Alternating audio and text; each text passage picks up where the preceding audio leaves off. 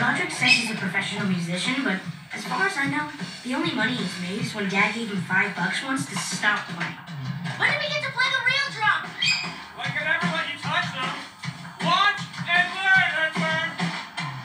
Hey, I was thinking we should enter the talent show.